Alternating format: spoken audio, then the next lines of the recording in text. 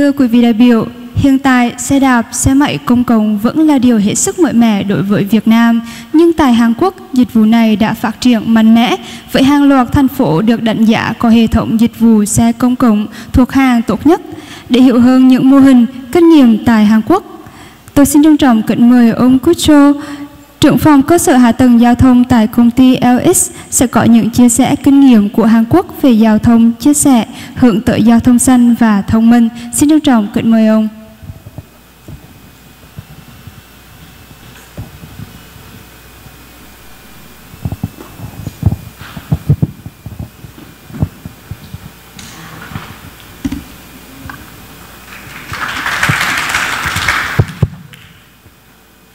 Thank you very much.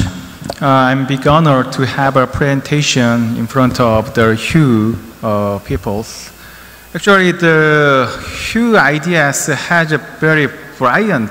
That meaning is uh, you guys have a very uh, the initial is uh, very the what is that very the the the, the idealistic or what I say the Hue is uh, just saying the Hue heritage heritage, uh, heritage unique elegance is very good. It's a hue idea is also when I heard that word is a hue idea is something like this.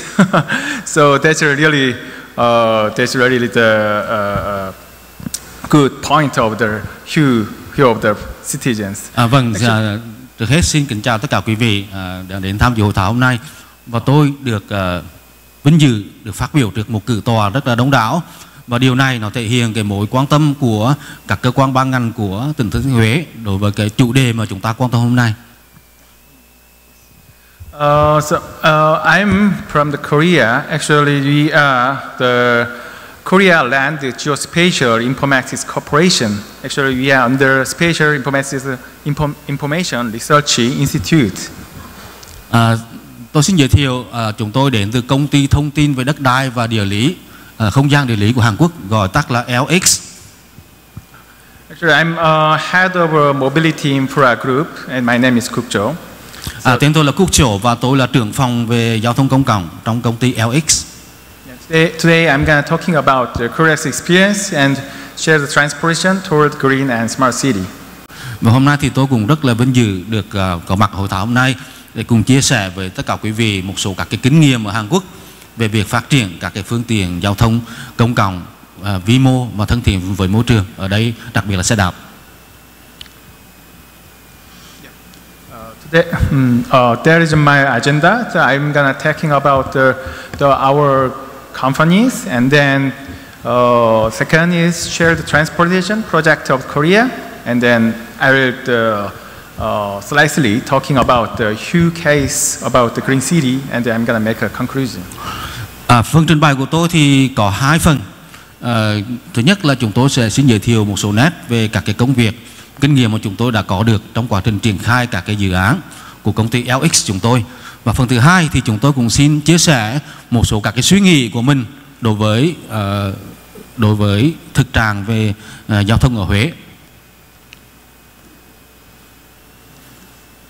First one is I'm introduce our groups and uh, our company.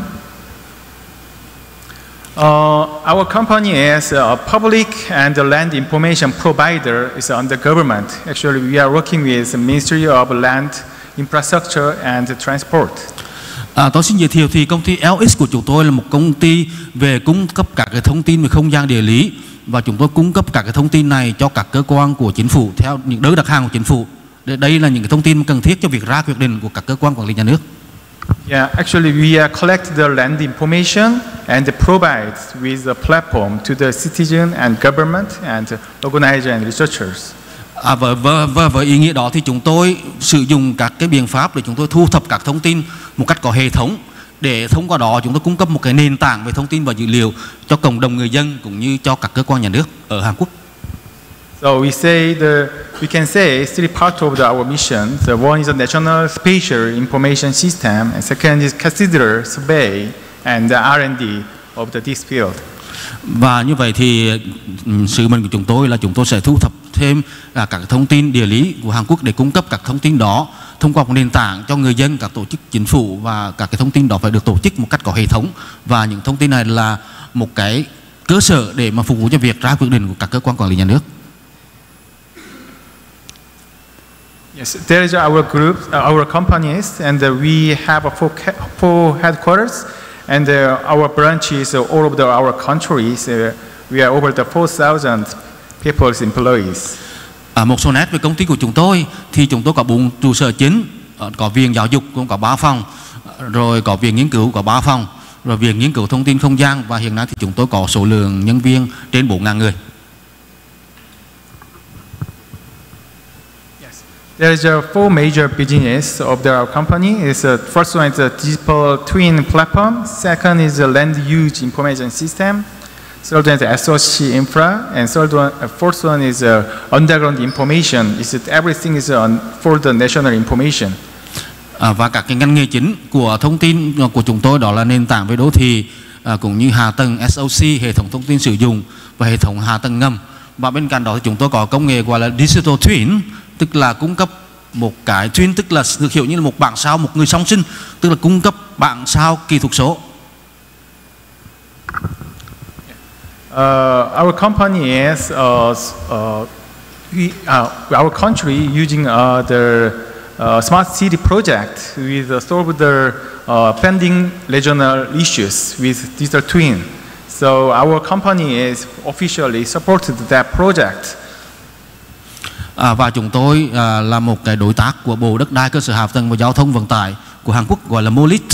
Thì chúng tôi như đã nói thì chúng tôi đang xử lý cũng như à, kiến tạo nên các cái một cái hệ thống gọi là Digital Twin National Land. Đó là chúng tôi cung cấp các cái bảng sao kỹ thuật số à, về các cái thông tin về đất đai. Và những cái thông tin này rất là cần thiết để mà chúng tôi cung cấp cho các cho Bộ Thông tin và Đất đai và Hạ tầng của Hàn Quốc gọi là Molit. Uh, digital twin service need a lot of models. Uh, 29, 20, 20, and at uh, 2018, so the 45 places have a digital twin. Currently, we spread on 147 places.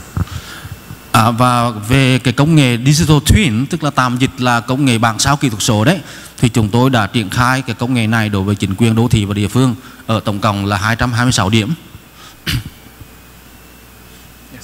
Uh, actually, one of the goal and one of the our company working with this, uh, actually all of the system is uh, in, installed on the GIS. We say there is a geospatial information system of the prevents, associate transport and water resources. All the kind of things is we are collected information on the GIS.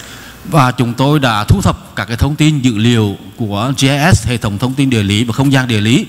Thì với những thông tin đó thì chúng tôi thiết lập các cái giải pháp thông minh và chúng tôi cung cấp à, những cái thông tin này cho nhiều lĩnh vực và ngành nghề khác nhau tại Hàn Quốc. Uh, one, of, one of the project with Vietnam ongoing, uh, there's a COICA as ODA project. We have a Vietnam Ministry of Construction. Actually, we are starting uh, 2013, uh, uh, and then currently uh, last year and uh, last year, today, uh, this year also Vietnam, the, the delegator is uh, visited our company. À, và về các quan hệ đối tác với Việt Nam thì chúng tôi là thông qua cơ quan COICA là cơ quan hợp tác quốc tế của Hàn Quốc đấy thì đây là một dự án ODA thì chúng tôi đã có một dự án hợp tác với à, Bộ Xây dựng của Việt Nam và dự án là được triển khai từ năm 2013 và vừa qua thì à, chúng tôi cũng đã đến thăm à, hình như là có một cái đoàn công tác của Bộ Tài nguyên và Môi trường hay là Bộ Xây dựng à, đã đến lặng- thăm trụ sở của chúng tôi tại Hàn Quốc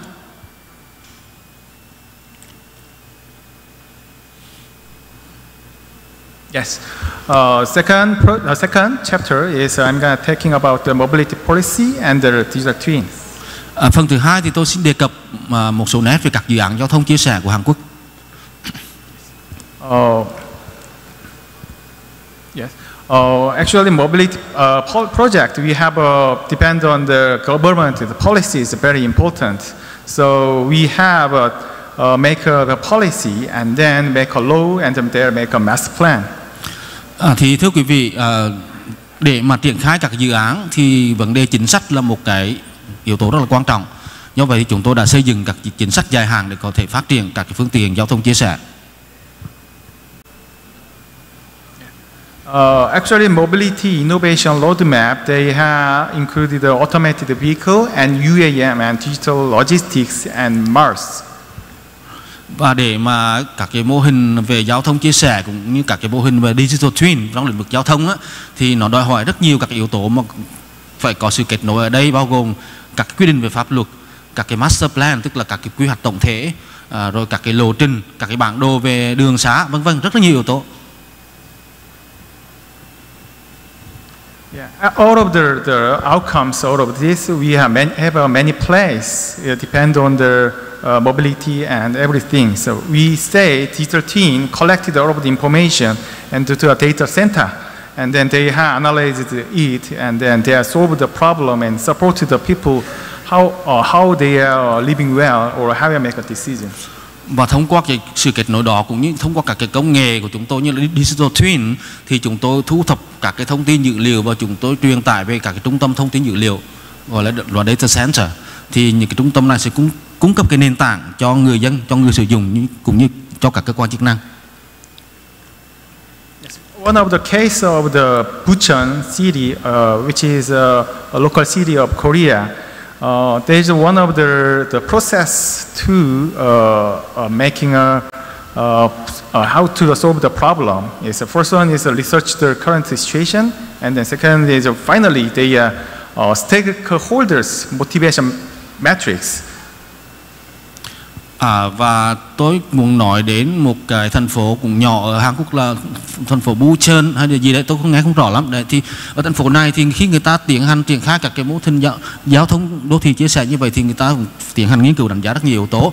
Và đặc biệt là phải cái nghiên cứu cái cái motivation tức là cái động lực để cho các bên có liên quan và người sử dụng làm thế nào đó để cho người ta sử dụng các phương tiện đó một cách hữu hiệu. One is uh, the, the user, and the second is service provider, and second is, uh, third one is a service uh, platform provider and the governor. Yes. và do vậy thì ở ở ở đây thì một cái platform provider tức là một cái người mà cung cấp cái nền tảng á, à, thì rất là cần thiết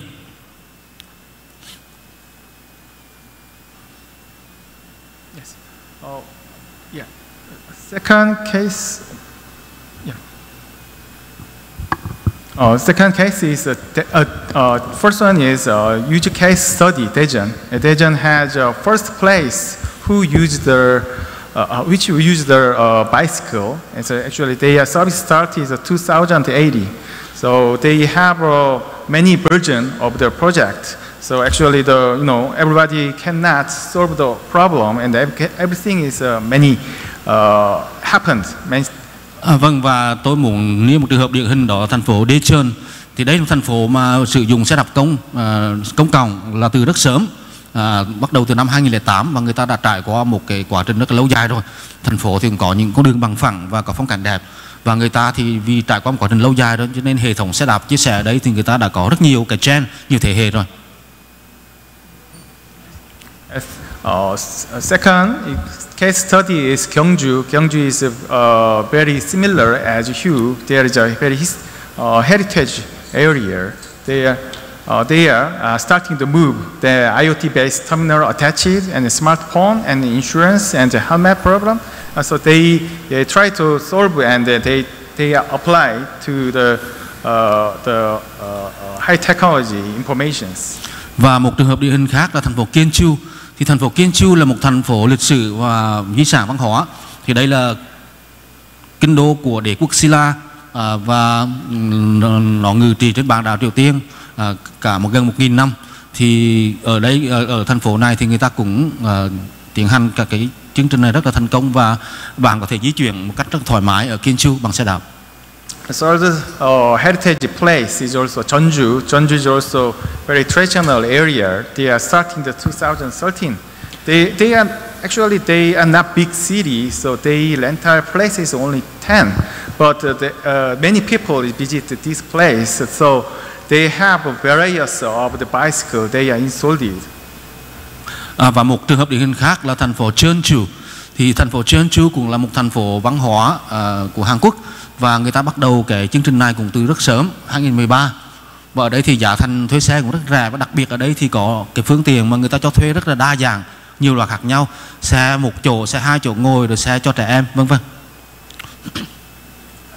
First one is Gwangju. Gwangju is a metropolitan city as a 2020, but what I want to say, this place, actually they, they are actually the, something bad case of the uh, uh, developing the project because the reason why actually the department is government department is not related with bicycle.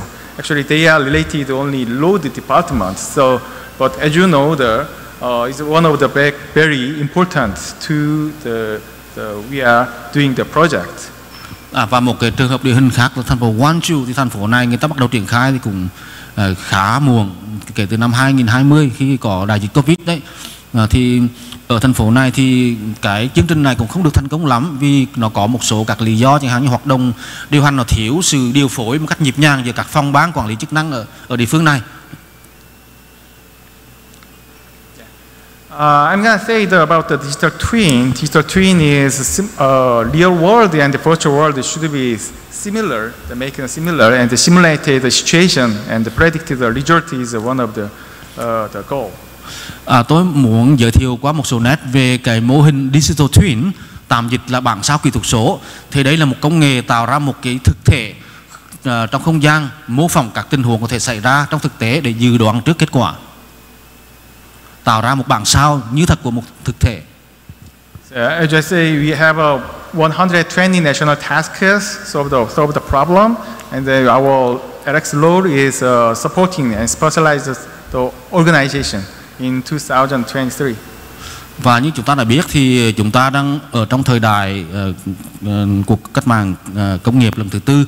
Do vậy để mà quản lý thông tin về đất đai về không gian thì cần thiết chúng ta phải có một hệ thống thông tin 3D ở cấp quốc gia do vậy trong trường hợp này thì cái công nghệ digital twin thì rất là cần thiết Uh, actually, the all of the information outside, inside, the spatial, uh, spatial information is collected, and the land and weather and IoT is all of things. và để làm được điều này thì cần thiết chúng ta phải thu thập dữ liệu dữ liệu thu thập từ nhiều nguồn nhiều kênh khác nhau Yeah, we developed the many functions. I'm gonna show the next slide, about the, the simple.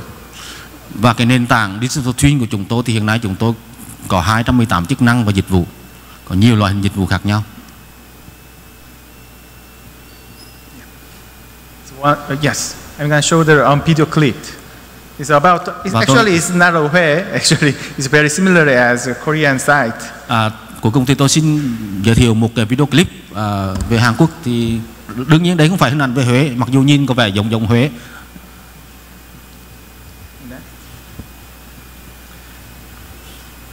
Yeah, yeah.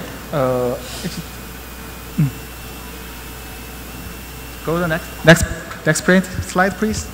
Yes. Second slide is about the urban environment service. Uh, they, are, they are monitoring the pollution, air pollution and they are to check the air condition something like this. And they are the people developing the city and they are check it. à, vâng thì chúng tôi phải có các cái hệ thống này để chúng tôi thu thập tất cả các dữ liệu chẳng hạn như về ô nhiễm môi trường ô nhiễm không khí rồi về cái tỷ lệ mà người ta sử dụng điều hòa không khí nó ảnh hưởng ra môi trường như thế nào đây có rất nhiều các loại thông tin dữ liệu khác nhau Yes, uh, I'm gonna talking about the uh, third third part about the in, ca- in case of the Huế. và tôi xin đi vào phần thứ ba đó là một số đề xuất đối với trường hợp của Huế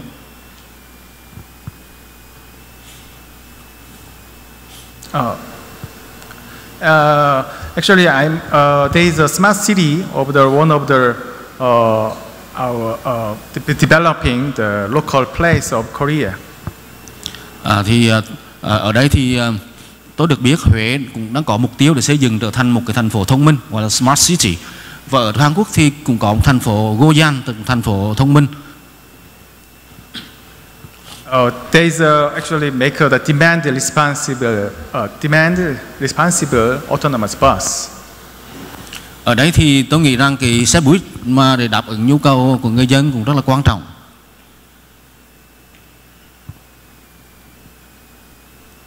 And then uh, traffic optimization service.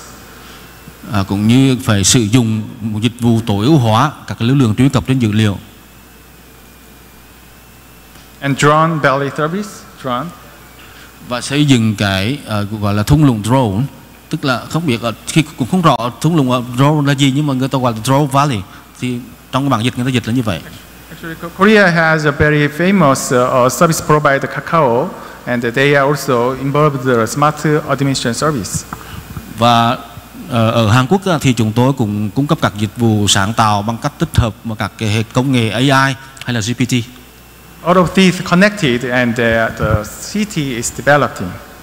và thông qua đó thì chúng tôi giúp phát triển các thành phố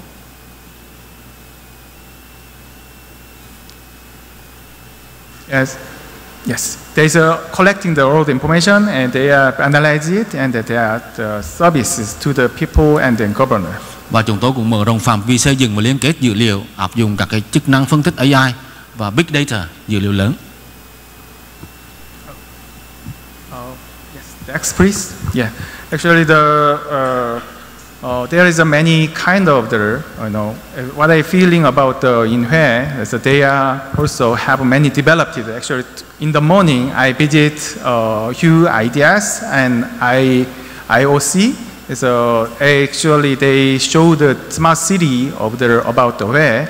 So they really I got a big impression, and they are studying the lots of things. It's really I'm appreciate to invited me, and I'm really uh, encouraged to develop the Hue. À, và vậy thì đối với Huế thì như thế nào đấy thì ờ, chúng tôi cũng đã được hiểu rằng Huế cũng rất rất, rất, rất quan tâm đến việc phát triển thành một thành phố thông minh và chúng tôi cũng đã đến thăm IOC tức là trung tâm điều hành đô thị thông minh và chúng tôi cũng rất là ấn tượng với những cái thành quả mà quý vị đã đạt được cho đến hôm nay trong lĩnh vực này Thank you very much. à, xin cảm ơn